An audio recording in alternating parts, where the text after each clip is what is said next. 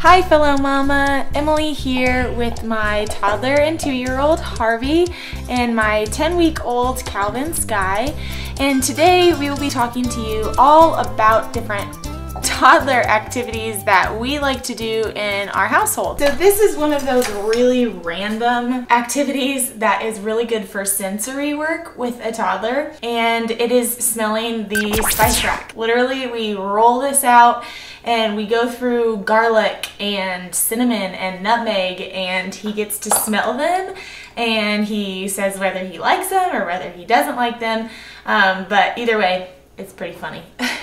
super fun, fun activity that's inside that you can just do with a sheet and a few different pieces of furniture. It makes for a really fun place to take a nap or eat a snack or have a drink.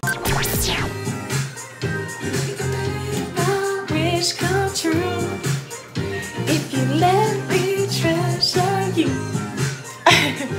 let me treasure. Are you showing your?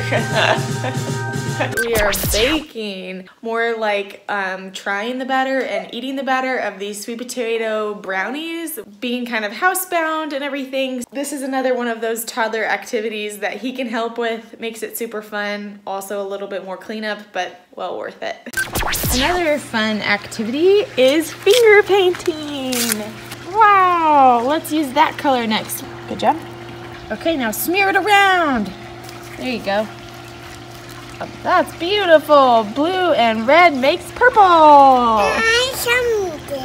Seriously, we will come out here and I will just spray my child with a hose and he loves it. We will bring out measuring cups and different things like that. Fill the measuring cups, dump them out. Fill the measuring cups, dump them out. Sometimes it's the silliest of things that um, entertain a toddler and are really good. Hand-eye coordination stuff. We do tons of different things outside. Harvey is behind me in his little truck and he rides that thing around in the backyard in the front yard. We go on walks. So we um, make a smoothie. And we have a little snack. So he has his little orange and he has his little shake right there that has spinach and kale and some really great vegetables and almond milk. And he drinks it up with a little Coca-Cola and sweetened with a little monk fruit. So it's delicious. And we have our little picnic outside.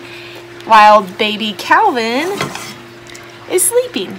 This is some of Harvey and I's just mommy and Harvey time.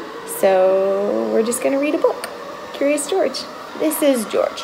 He was a good little monkey and always very curious. These are the fun activities we like to do. So I hope you guys will subscribe and comment below if there are some things that you guys like to do that I haven't thought of. Say, Mama out. Mama out.